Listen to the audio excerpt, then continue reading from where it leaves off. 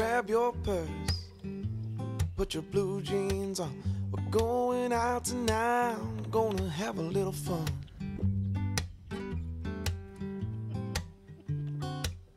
Reservations for two in the drive-thru. We got the radio on to our favorite song. We drive around town, see what's going down. Week, Run into people week, that week. know everywhere we We had a little language. That's our we were communication. Talking, mm, back and forth to each other like that. The cinema on Sixth says it's sold out. Take a walk on the streets and laugh our brains out. I never thought that I would see the day that I met you. I know it's true. Falling for you. Falling for you.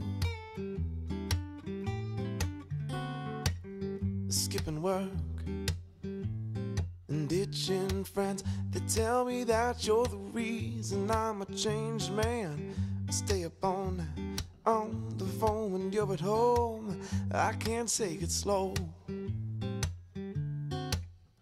buy you flowers, write your name in the sand.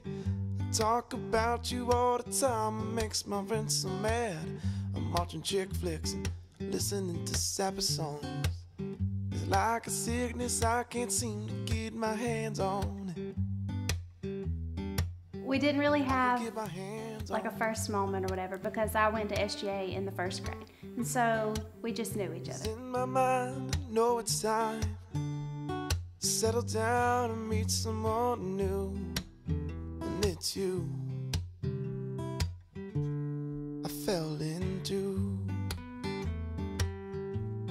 I fell into.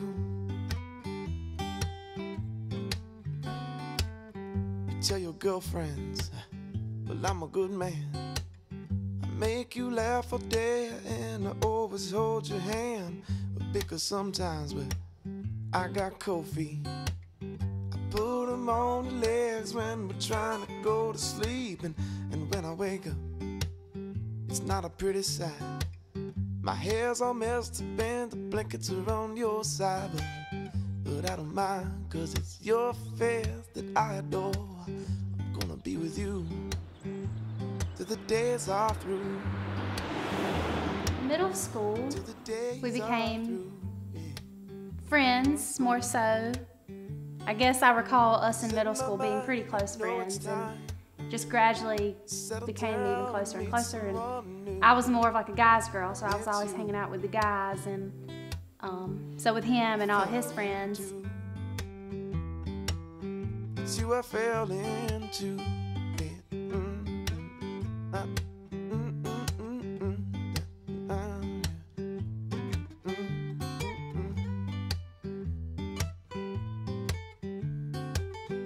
In my mind, know it's time. we became really close in high school. We sat by each other in Miss. Judy Jordan's technology class in the library. And we started wasn't very interested in me as far as girls liking boys' ways. Yeah, I had another boyfriend. I had a softball game, and um, a, a crew of us ate at what's now G's Pizza on the square in Colquitt. And um, I mean, it, Russ was there, and all of my friends that played softball, and then this new guy I was, I was talking to. Number one, I went to Hardee's, went to the bathroom, and uh, left and didn't go back. Left them eating, didn't eat, and so I went back to Arlington. And before I could even get to Arlington, she called and wanted to know what was wrong with me, why I was acting like that. And I told her, and I was already at the point where I could tell her I had to go to the bathroom. And uh, but the other reasons I just didn't like y'all being together. Uh, and that was probably out of left field for her.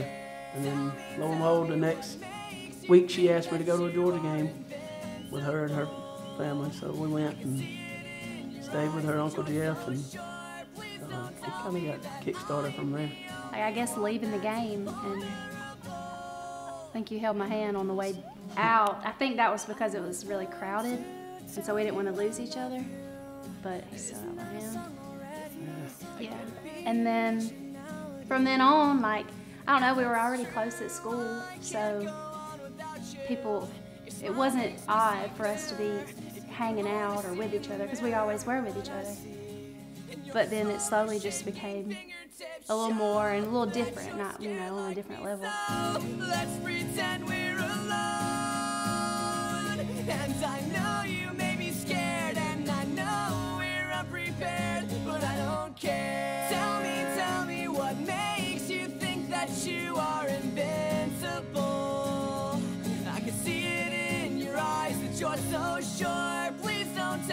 That I'm the only one that's vulnerable. Impossible. Slow down, girl. You're not going anywhere. Just wait around and see. Our grand plan was for both of us to go to Georgia Southwestern for two years, transfer to Georgia, and then, you know, be up there together. But um, thanks to me, that didn't all work out. So I broke up with him the first time, and Russ likes to claim that we got back together a second time, and then he broke up with me, but that didn't happen. He just felt like he needed some retaliation or something, but that didn't happen. But um, I was still in Statesboro, he was in Athens, but there came a point where I was either going to Athens every weekend or coming home because he was coming home. And then we just kind of slowly worked our way back to a point where we were literally like, all right, so what's the deal again? You know, kind of the same thing as it was. Are we, are we gonna be like official? Not that that would change anything. So, who do you wish could be there to be here to see you get married but can't be? Definitely all my grandparents. Well, mom's my daddy for sure. I spent a lot of time with him when I was little, and my, my dad's dad, and he he would uh, definitely approve, Yeah, and he did would. approve. He, he he met her, being that we've been together for so long. But yeah, I, I would wish they were here, and my granny Ruth. So uh, all three grandparents. that- yeah. Yeah. Uh, my my mom's grandmother, so her- Annette Chandler, she's granny to me. She passed um, about two years ago. Um, my mom's brother, uh, Jeff, he and his wife Angel, Jeff Easom, they had twin girls, Megan and Macy, and um, Macy passed when she was five, so back in I think 2004, five ish. Um, she had a rare form of uh, childhood cancer, and she passed, and so now her her twin is going to be a bridesmaid.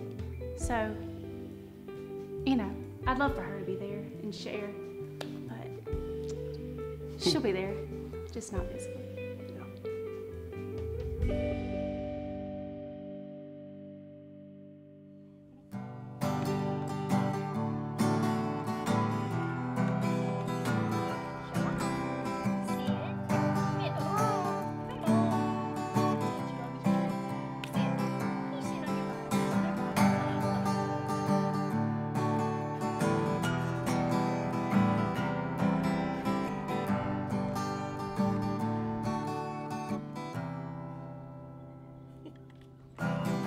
Headed down south to the land of the pine, thumbing my way to North Carolina, staring up the road and pray to God I see headlights.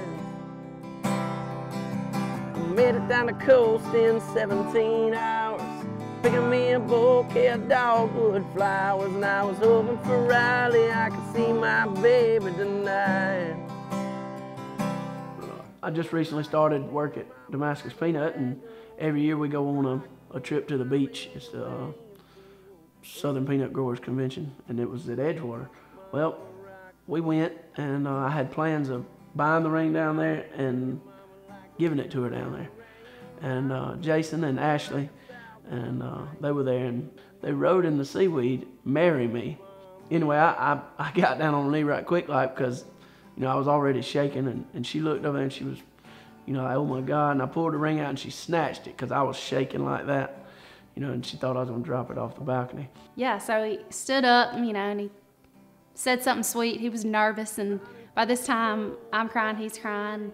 I'm in my pajamas still, my hair's wet, and I'm in a towel.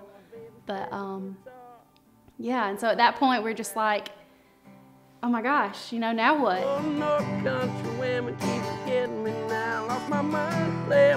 So I had to leave town. I ain't coming back into life no more. Oh, rock me and mama like a second wheel. Rock me and mama any way you feel. Hey, mama, rock me. Oh, rock me and mama like Since high school, we've not really been in the same, the same town, but I don't know. We just made it work, I guess.